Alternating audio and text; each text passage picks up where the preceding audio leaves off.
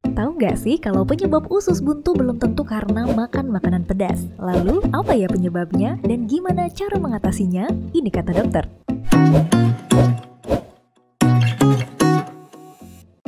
Usus buntu sesuai dengan namanya yaitu saluran usus yang ujungnya buntu. Usus buntu ada di rongga perut kanan bawah menempel sama usus besar. Organ ini dikenali oleh ahli anatomi pertama kali tahun 1521. Saat itu para ahli masih kebingungan fungsi dari usus buntu ini dan dianggap sebagai organ tambahan yang gak ada fungsinya. Belakangan diperkirakan fungsinya sebagai organ imunologi karena berisi kelenjar limfoid yang mengeluarkan imunoglobulin, yaitu suatu kekebalan tubuh. Yang jelas, appendix ini bisa mengalami peradangan atau infeksi yang bikin orang-orang jadi nyeri perut. Biasanya perut bagian kanan bawah akan nyeri kalau ditekan, bisa juga sampai bikin mual muntah, demam, perut kembung, hingga susah buang angin. Penyebab usus buntu meradang sebagian besar karena ada sumbatan di usus buntu. Sumbatan ini bisa disebabkan tinja yang keras, jadi orang yang sering sembelit berisiko nih buat mengalami radang usus buntu. Sumbatan bisa juga karena infeksi cacing, tumor, dan pembesaran limfoid.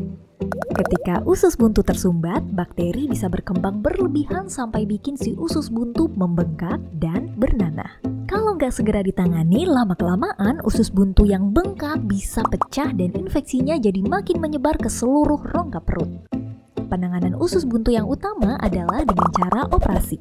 Pada beberapa kondisi yang belum parah, bisa ditangani hanya dengan pemberian obat antibiotik. Tapi sekitar 40% radang usus buntu akan kambuh lagi kalau nggak dioperasi. Lalu, apa benar sering makan makanan pedas atau menelan biji buah yang sulit dicerna bisa bikin radang usus buntu juga? Makanan pedas nggak secara langsung bisa bikin radang usus buntu, tapi makanan pedas bisa menyebabkan gangguan pencernaan dan nyeri perut yang menyerupai gejala awal radang usus buntu dan mungkin disalahartikan sebagai radang usus buntu. Sering mengonsumsi biji buah-buahan yang sulit dicerna memang mungkin saja bikin sumbatan di usus buntu sampai meradang. Tapi penelitian menunjukkan rasionya sangat kecil yaitu 0,05%. Sebagian besar radang usus buntu disebabkan karena penyumbatan oleh tinja yang keras dan pembesaran limfoid bukan karena makanan pedas atau menelan biji buah. Nah, ini ada beberapa cara biar terhindar dari radang usus buntu. Rajin olahraga, konsumsi makanan kaya serat untuk mencegah sembelit, konsumsi air putih yang cukup, kurangi konsumsi makanan berminyak atau berlemak karena bisa menyebabkan sembelit. Ini kata dokter tentang usus buntu. Terima kasih sudah menyaksikan video ini. Dukung terus channel Ini Kata Dokter dengan like, share, dan subscribe. See you on the next video.